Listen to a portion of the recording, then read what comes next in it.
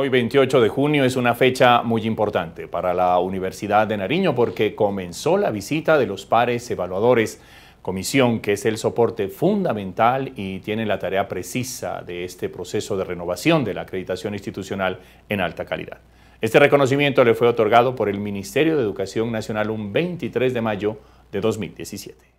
Durante cuatro días, la Universidad de Nariño recibe la visita de la Comisión de Pares Evaluadores con fines de la renovación de la acreditación institucional en alta calidad. Hoy en el Auditorio Luis Santander Benavides se llevó a cabo la instalación. El día de hoy y hasta el día 30 de junio tendremos la visita de los pares del Consejo Nacional de Acreditación con el fin de evaluar las condiciones de la Universidad de Nariño. Para nosotros es un momento de gran alegría, nos sentimos muy orgullosos de que la Universidad de Nariño haya llegado a este punto. Esperamos este momento durante más de cinco años y hemos trabajado para que se den las condiciones. Un plan de mejoramiento muy bien elaborado, un plan de mejoramiento que se ha cumplido y una evaluación de los diferentes factores que esperamos sea evaluado de la manera más objetiva por parte de los pares que nos visitan en este momento. Muchas felicidades a la Universidad de Nariño y qué orgullo poder estar aquí hoy compartiendo este momento.